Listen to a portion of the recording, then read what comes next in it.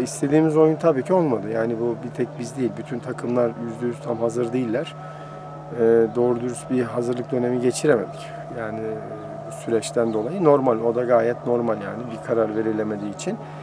Ee, maçlara başlarken de e, bütün takımlar e, bulunduğu konumdan daha düşük tempoyla oynadılar şu anda. İlk maçların hepsi hemen hemen öyle geçti. Bizim maç da öyleydi. Ee, hakikaten istediğimiz gibi olmadı ama e, ikinci yarı iyi oynadık. 10 kişi kalınca rakip iyi oynadık. Üstünlüğü de yakaladık. Bir sürü de pozisyonlarımız vardı. Kaleye kadar geldik. Son paslarda değerlendiremedik ama bizim için bu maç çok önemliydi. Yani mutlaka kazanmamız gereken bir maçtı. Bu şeye benziyor. Yani hazırlık döneminden sonraki ilk maça benziyor. Ama biz hazırlık dönemimizi tam hazırlık dönemi gibi yapamadık. Bir hazırlık maçı yapabilseydik bir iki tane o zaman oyuncularımızın hepsi de hazır olurdu. Maç temposunu da kazanmış olurlardı. Daha iyi bir maç olabilirdi. Daha güzel e, olabilirdi. Ama her şeye rağmen galip geldiğimiz için çok mutluyuz. Çünkü e, kolay bir maç olmadığını biliyorduk.